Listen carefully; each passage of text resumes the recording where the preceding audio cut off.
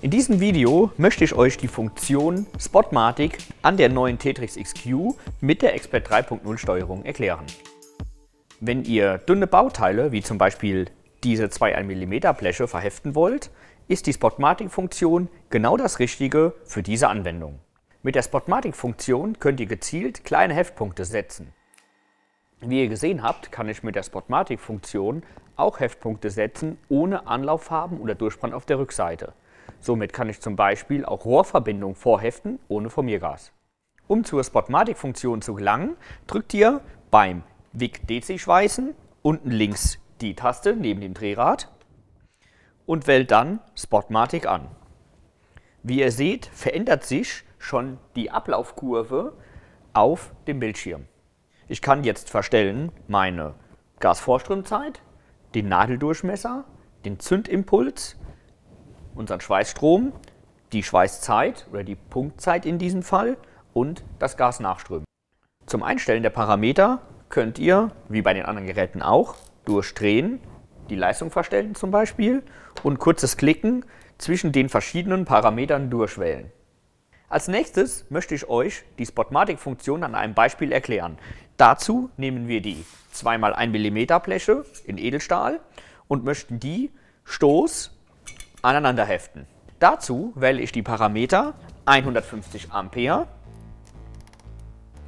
mit einer Schweißzeit oder einer Punktzeit von 75 Millisekunden. Das Schweißen mit der Spotmatic-Funktion ist im Vergleich zum normalen Wegschweißen etwas anders. Das heißt, wenn ich den Brennertaster drücke, aktiviere ich die Spotmatic-Funktion und der eigentliche Schweißprozessstart entsteht darin, wenn ich die Wolfram-Elektrode auf das Werkstück einmal kurz auftippe und wieder wegziehe. Danach wird unmittelbar der Schweißprozess gestartet. Als kleiner Tipp, wenn ihr besonders bei dünnen, kleinen, filigranen Bauteilen Heftpunkte setzen wollt mit der Spotmatic-Funktion, könnt ihr die Gasdüse auf das Werkstück aufsetzen und dann über die Gasdüse abrollen und auf das Werkstück auftippen. Wie ihr vielleicht festgestellt habt, muss ich jedes Mal, wenn ich einen neuen Schweißpunkt setze, den Prozess wieder neu freigeben. Das heißt, den Brennertaster drücken. Das kann man im Hintergrundmenü verstellen, indem man ganz einfach hier oben die Taste rechts klickt, dann auf Setup geht und runter scrollt zu Spotmatic. Die Einstellung für die Prozessfreigabe finde ich hier unten und kann dann einstellen separat, also jeder Punkt einzeln, oder permanent, das heißt einmal Brennertaster drücken, der Prozess ist freigegeben, nochmal der Brennertaster drücken, Prozess ist nicht freigegeben. Als weitere Punkte könnt ihr noch die kurze Punktzeit einstellen, das heißt die Umstellung von Millisekunden auf Sekunden und die Zündung durch die Werkstückberührung deaktivieren.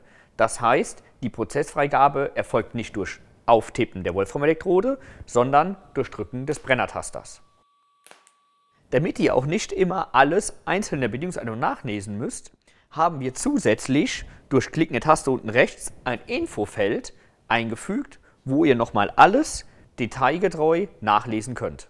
Solltet ihr dieses Infofeld, das heißt die Taste, bei eurem Gerät nicht haben, dann könnt ihr euch im Online-Shop kostenfrei das Update herunterladen und mit einem USB-Stick auf das Gerät einspielen.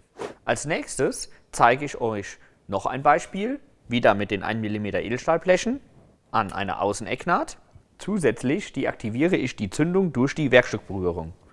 Für das nächste Beispiel wähle ich die Parameter 135 Ampere und eine Punktzeit von 65 Millisekunden.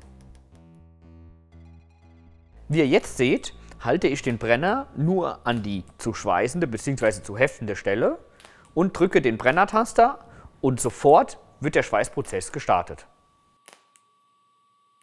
Wie ihr gesehen habt, ist das Schweißen mit der Spotmatic-Funktion super einfach und besonders vorteilhaft von kleinen und filigranen Bauteilen.